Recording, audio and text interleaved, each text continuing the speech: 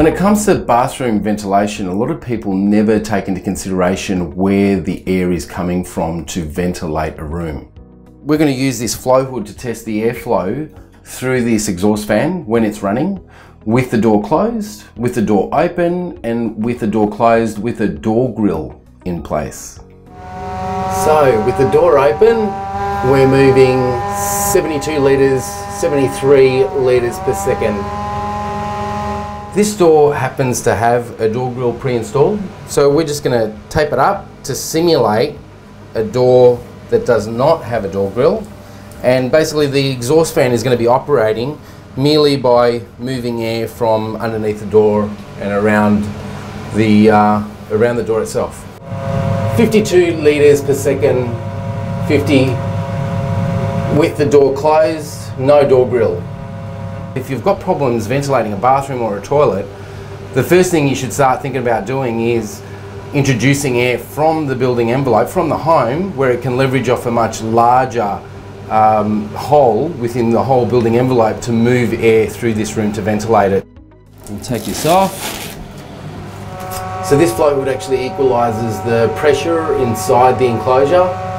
So we're talking 68 litres per second with the door grill. What you've really got to understand is with these exhaust fans, they can't handle an induced pressure. So you start restricting the airflow, the, the, the elevated pressure inside the room significantly reduces the amount of airflow these fans can, can move.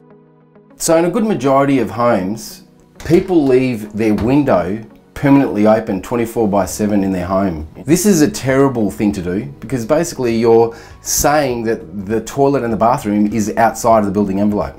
And if you're saying that the toilet and bathroom is outside of the building envelope, you then need to start insulating all the surfaces and putting door seals around your doors, which is crazy because we should be comfortable in our bathrooms and our toilets and uh, the other issue is that if you've got a cold bathroom, you've got huge temperature swings happening in your bathroom, it's much more likely to get mold.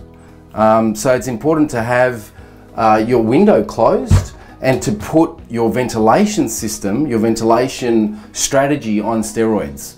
So when it is on, it's working really well for you. And when it's not on, it's not connecting you to the outside.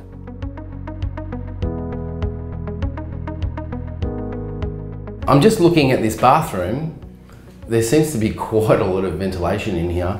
You've got ceiling vent, wall vents, exhaust fan, looks like a ventilated type of light fitting. When you look at where the actual humidity source is coming from, which is directly underneath this shower point, what you actually want is for airflow to be coming directly from the door and then straight up past the shower directly through the exhaust fan.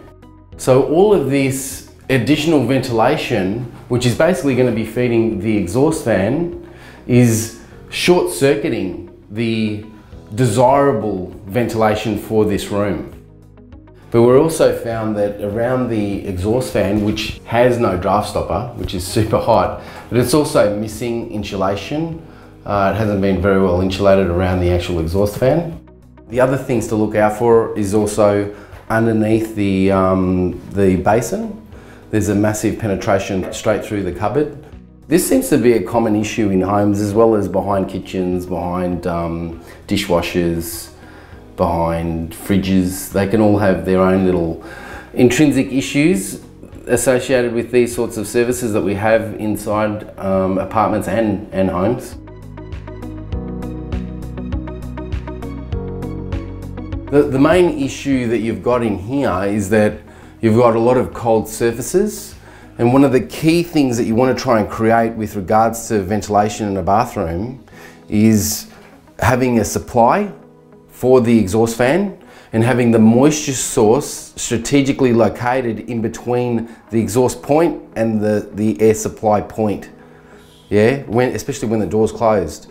So right now where the fan is is actually in a really good location all you really need to do now is introduce an exhaust point from inside the building envelope.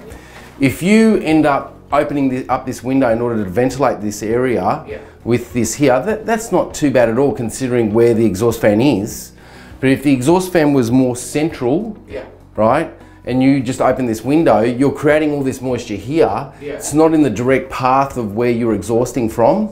So it's important that, that you do that. And, and all of these surfaces above your windows seem to be uninsulated. So really one thing that you can do is pull back your tiles and, and actually put some insulation in these cavities. Hopefully you can get access to do that.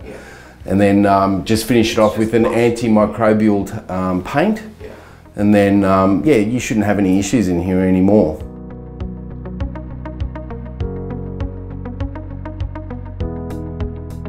The bathroom had a normal fan straight up above the, the shower, which isn't a bad place to put a fan.